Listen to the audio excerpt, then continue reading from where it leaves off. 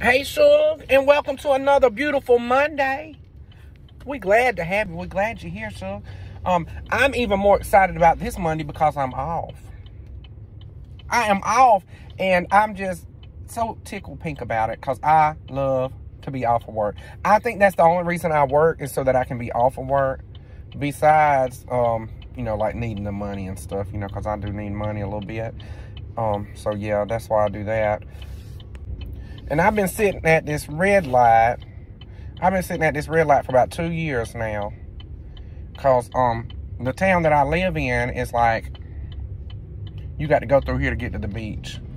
And I don't know. There's just always traffic, especially during the hot the hot months. And I'm I'm just trying to get to where I'm going and this traffic just backed up for no reason. And I don't appreciate it. I live in the country and I like for it to stay in the country. So anyway, I'm fixing to go get some chicken feed and duck feed. No, I'm just kidding. They all eat the same thing. Anyway, um, but, you know, being I'm buying them feed because they hungry, I got to buy me some feed because I'm hungry. So I'm fixing to go try out this food truck in town. That's my friend Valerie. Did y'all see the video that with the girl that went with us to Ohio, Valerie? She got this food truck in town, and it's called Simply Southern Salads or something like that. And I ain't never ate at it because I thought all she had was lettuce.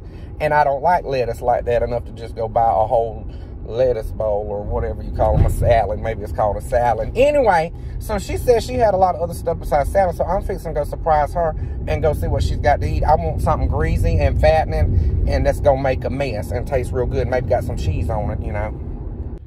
Well, Shug, I guess I'm not going to go eat there. Because her, her tail's closed. Look. She ain't even got the door open. I ain't want no I ain't want no lettuce anyway, Val.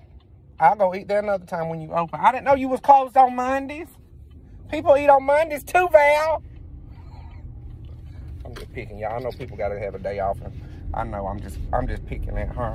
But I was gonna go try it. It'll be two years before I get to go try it now. well, being Val didn't have that little salad store open, I had to get me a pizza. See, I was trying to be healthy and get a salad, but now I have to eat pizza, and I'm gonna blame it on Val. It's her fault. I'm just kidding. Y'all know I wasn't finna get no salad. I don't want no salad.